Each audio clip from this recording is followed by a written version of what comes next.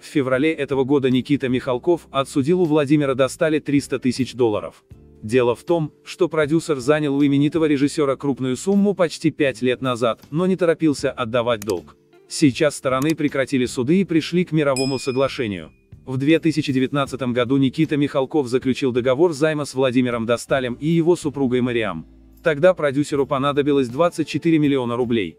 Однако в указанный срок деньги не вернулись на счет режиссера фильма «Свой среди чужих, чужой среди своих». 77-летний Никита Сергеевич был вынужден обратиться в уполномоченные органы, чтобы потребовать возвращения долга. В начале года было вынесено решение взыскать основную сумму займа, а также проценты по договору. Но Досталь подал апелляционную жалобу в Московский городской суд, чтобы попытаться изменить ситуацию. На первом же заседании в начале июля представители Михалкова и Достали подписали мировое соглашение, которое было утверждено судьей.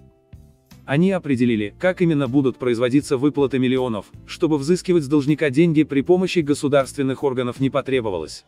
Стороны пришли к соглашению, что денежные средства будут выплачиваться в определенное время, прокомментировали Стархи ту ситуацию в Мосгорсуде.